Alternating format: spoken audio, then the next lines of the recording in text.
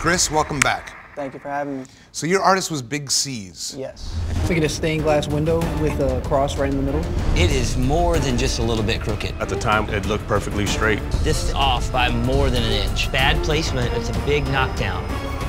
It looked good from where I saw it, but the Yeah. thing is, it's on my back. Yeah. So I, I honestly can't really see.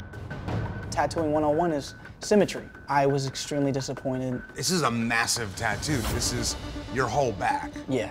Well, Big Ceeze is in the shop. I want to give you the opportunity to confront him if you need to. Tell him how you feel. I would definitely like to talk to him. Head on in. Thanks, Dave. Yeah, man. Good luck. Appreciate it. I've been waiting to let Ceeze know how much I really, really hate the tattoo. Big Ceeze really did mess up my back and fucked my life. Remember me? What's up, man? The tattoo that you gave me, it was a tattoo. And putting that trust into you ultimately failed. Honestly, who does freaking stained glass? You know what I mean? I don't do stained glass. I feel like I would never trust you again. It honestly pissed me off. If you don't want to get tattooed by me again, then we just came here for nothing. What you guys don't know is that there's another artist here who wants to call you out, Steve.